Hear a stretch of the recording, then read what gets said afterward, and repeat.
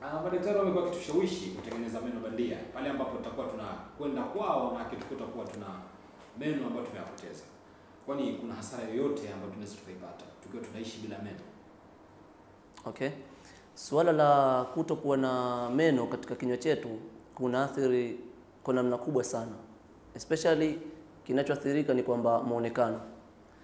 Tumeona tatizo kubwa sana la watu kukosa meno kuna asiri muonekano wa mtu uh, hasa katika uh, kinywa chake. Anapokuwa hana meno, tunaona hata ule muonekano wake unakuwa kidogo unakuwa kwa tofauti. Lakini suala jingine la kutokuwa na meno kuna athiri sana katika sehemu za utafuniaji. Tunasema kwamba meno yanachukua nafasi kubwa sana katika sehemu ya utafunaji wa chakula, na pia uh, meno yanachukua nafasi kubwa sana ya kusupport hizi jointi ambazo zinatumika katika uchakuaji wa chakula. Kwa hiyo uh, tumeona hiyo ni tatizo kubwa sana la la kuto kukosa meno katika katika kinywa.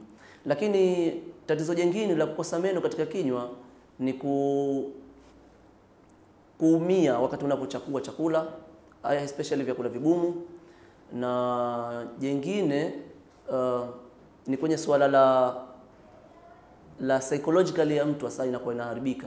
Mtu akishajiona hana meno, basi kiakili atakuwa hafeel vizuri muda wote, anajihisi yeye yuko tofauti tu na ana kitu kizito. Lakini chengine ni kuhusiana na mmeng'enyo mzuri wa chakula. Tunafahamu kwamba meno yanachukua nafasi kubwa sana katika kumeng'enya chakula chetu, especially tunapokula vyakula ambavyo vina asili ugumu au vilaini.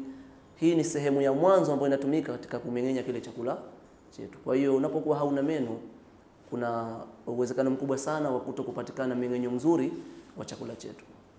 Maoni.